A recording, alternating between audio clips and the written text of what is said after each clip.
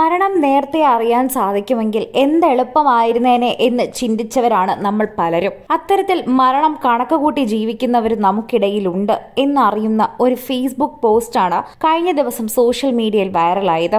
മൂന്ന് സുഹൃത്തുക്കൾ മരിച്ചു. അടുത്തത് ഞാനാണ് എന്ന് പറഞ്ഞിരിക്കുന്ന ഒരു വ്യക്തിയുടെ കുറിപ്പാണ് ഇപ്പോൾ സോഷ്യൽ മീഡിയ ഏറ്റെടുത്തിരിക്കുന്നത്. ചൊവ്വാഴ്ച ഉച്ചയ്ക്ക് പന്ത്രണ്ട് അൻപതിനോടെ തന്റെ പ്രിയപ്പെട്ട സുഹൃത്തുക്കളുടെ മരണത്തെപ്പറ്റി ദത്തൻ ഫേസ്ബുക്കിൽ കുറിപ്പെഴുതി. തനിക്കുള്ള മരണത്തിന്റെ ടോക്കൺ ചൂട് അറിയുന്നുണ്ടെന്നും നാളെ നാളെ എന്ന അനൗൺസ്മെന്റ് കേൾക്കുന്നത് പോലെ പോസ്റ്റിൽ സൂചിപ്പിച്ചിരുന്നു. ഏറെ അടുപ്പമുള്ള സുഹൃത്തുക്കളുടെ മരണത്തെക്കുറിച്ച് ഫേസ്ബുക്കിൽ ചൊവ്വാഴ്ച കുറിപ്പെഴുതിയ കവിയും എഴുത്തുകാരനുമായ ദത്തൻ ചന്ദ്രമതി ബുധനാഴ്ച പുലർച്ചെ തന്നെ മരിക്കുകയും ചെയ്തു. ഇത് വിശ്വസിക്കാനാവാതെയാണ് പലരും ഉണ്ടാകുന്നത്. ദത്തൻ ചന്ദ്രമതി എന്ന സുനിൽ ദത്തന് അൻപത്തഞ്ച് വയസ്സായിരുന്നു. പുലർച്ചെ നാലരയോടെ നെഞ്ചുവേദനയെ തുടർന്ന് ആശുപത്രിയിൽ എത്തിച്ചെങ്കിലും മരിക്കുകയായിരുന്നു. ഹൃദയാഘാതത്തെ തുടർന്നായിരുന്നു അദ്ദേഹത്തിന്റെ മരണം എന്നാണ് സ്ഥിരീകരിച്ച റിപ്പോർട്ട്. ചൊവ്വാഴ്ച ഉച്ചയ്ക്ക് പന്ത്രണ്ട് അൻപതോടെ തന്റെ പ്രിയപ്പെട്ട സുഹൃത്തുക്കളുടെ മരണത്തെപ്പറ്റി ദത്തൻ ഫേസ്ബുക്കിൽ പോസ്റ്റ് ഇടുകയും ചെയ്തിരുന്നു. തന്റെ മരണവും അടുത്തു എന്ന് പറഞ്ഞപ്പോൾ പലരും അത് കണക്ക് കൂട്ടിയില്ല. പലരും അങ്ങനെയൊക്കെ പറയരുത് എന്ന് ഇദ്ദേഹത്തിനോട് പറഞ്ഞ് മനസ്സിലാക്കി. തനിക്കുള്ള മരണത്തിന്റെ ടോക്കൺ ചൂടറിയുന്നുണ്ടെന്ന് നാളെ നാളെ എന്നുള്ള അനൗൺസ്മെന്റ് കേൾക്കുന്ന പോലെ തോന്നുന്നു എന്നുമുള്ള വരികളാണ് ഈ പോസ്റ്റിൽ ശ്രദ്ധേയം. കൊച്ചിൻ പോർട്ട് ഡെപ്യൂട്ടി വാർഡ് സൂപ്രണ്ടായിരുന്ന സുനിൽ എറണാകുളം അത്താണി സ്വദേശിയാണ്. സംസ്കാരം യു സി കോളേജ് ആലുവ ശ്മശാനത്തിലും നടന്നു. അദ്ദേഹത്തിന്റെ പോസ്റ്റ് ഇങ്ങനെയാണ്. എനിക്കുള്ള ടോക്കൺ ചൂട്.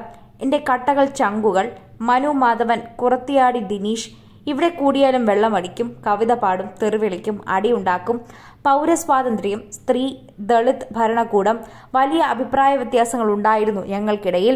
എന്നാലും വീട്ടിലെത്തിയോ എന്ന് വിളിച്ചു ചോദിച്ചിട്ടേ കിടന്നുറങ്ങൂ. മനു മാധവൻ ഒന്നും പറയാതെ പോയി. രണ്ടായിരത്തി പത്തൊമ്പത് സെപ്റ്റംബറിൽ കുറത്തി പുറകെ ഞെട്ടിച്ചുകൊണ്ട് രണ്ടായിരത്തി ഇരുപത്തിയൊന്ന് ജനുവരിയിൽ അവനൊപ്പം കൂടി. ഇന്നലെ അവനും ബാക്കി ഞാൻ മാത്രം. മൂന്ന് പേരും അവർ ഒന്നായി എന്നെ മാത്രമേ പുറന്തള്ളി. എനിക്കുള്ള നറുക്ക് നാളെ നാളെ എന്നൊരു സൈക്കിൾ അനൗൺസ്മെന്റ് വാഹനം തലയിൽ പെരുക്കുന്നു. ഇതായിരുന്നു അദ്ദേഹത്തിന്റെ കവിത പോലെ തന്നെ അദ്ദേഹം പങ്കുവച്ച കുറിപ്പ്. ഇദ്ദേഹം ഈ നാല് പേരോടൊപ്പമുള്ള ചിത്രവും ഇതിനോടൊപ്പം തന്നെ പങ്കുവച്ചിട്ടുണ്ടായിരുന്നു. കവിയരങ്ങ വേദികളിൽ സ്ഥിര സാന്നിധ്യമായിരുന്നു ദത്തൻ എന്ന വ്യക്തി. ഫേസ്ബുക്കിലൂടെയുള്ള നുറങ്ങു കവിതകളും ലേഖനങ്ങളുമാണ് ദത്തനെ ശ്രദ്ധേയനാക്കിയത്. സൽമാൻ റഷ്ദിയെ ആക്രമിച്ചതിനെതിരെ ശക്തമായാണ് അദ്ദേഹം പ്രതികരിച്ചത്. ഓരോ സാമൂഹിക കാര്യങ്ങൾക്കും ഇദ്ദേഹം ഫേസ്ബുക്കിലൂടെ പോസ്റ്റ് ഇടുന്നത് കൊണ്ട് തന്നെ അതിനെ വല്ലാതെ ശ്രദ്ധേയമായ ആളുകൾ എടുക്കാറുണ്ടായിരുന്നു.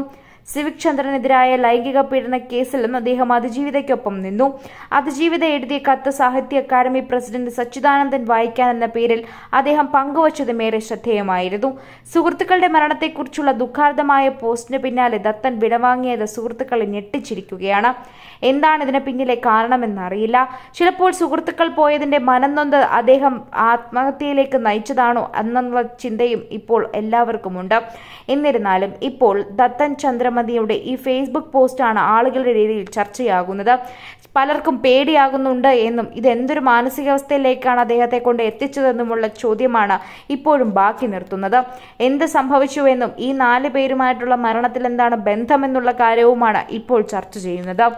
സിനിമ ഫാഷൻ ലൈഫ് സ്റ്റൈൽ വാർത്തകൾക്കായി മലയാളി ലൈഫ് സബ്സ്ക്രൈബ് ചെയ്യൂ. ലേറ്റസ്റ്റ് അപ്ഡേറ്റ്സിനായി ബെൽ ബട്ടണും അമർ